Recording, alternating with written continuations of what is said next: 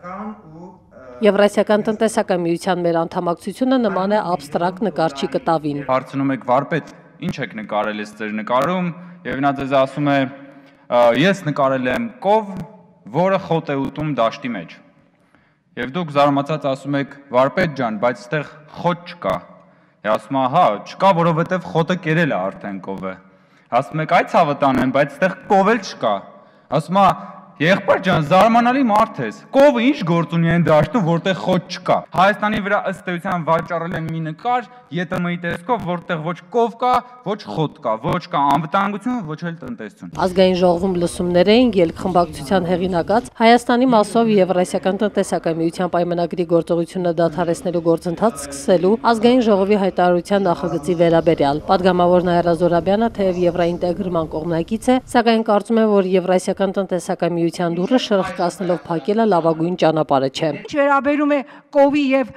խոտի նկարին, ապա Սոթբիի աճուրդում նենց նկարներ են վաճառվել, որ նայում ես 100 միլիոնավոր դոլարներով, ուզում ես այնտեղ ինչ որ մի փիլիսոփայություն կամ ինչ որ մի բովանդակություն գտնել, մտածում չես գտնում եւ մտածում ես դե չգտնելն էլ երևի դու չես հասկանում, այսինքն միշտ էլ կարելի է առավելագույն ճիշտ քաղաքականության դեպքում նույնիսկ այդ ասենք օրինակ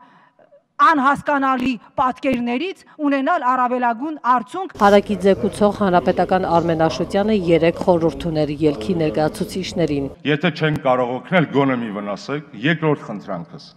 Երբեք Հայաստանը չդարձնենք աշխարհակահաղական արճակատման թաթերաբեմ, ոչ մի երկիր չի շահել դրանից, երբ որ իր տարածքում բախվել են մեծերը, այսպես կոչված խոշորներն ու ուժեղները պահենք այդ գեոպոլիտիկ կռիվը մեր սահմաններից դուրս։ Պահենք, իրար ինչքան ասես, այստեղ տանք, լսենք, չլսենք, ընդհատենք, բայց այդ կռիվը ներս չբերենք։ Եվ երրորդ խնդրանքս։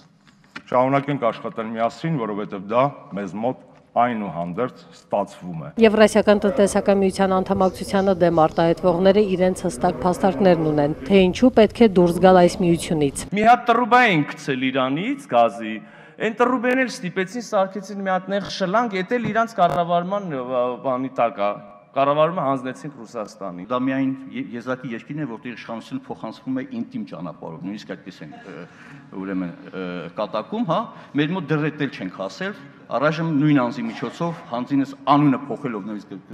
նախագահից վարչապետ, բայց բովանդական տեսակետից իշխանության շարունակականության հարցն է։ Խորհրդարանական լսումներն ավարտվեցին, ելքի այս նախագծի հաջորդ քննարկումը տեղի կունենա ազգային ժողովի արտաքին հարաբերությունների մշտական հանձնաժողովում։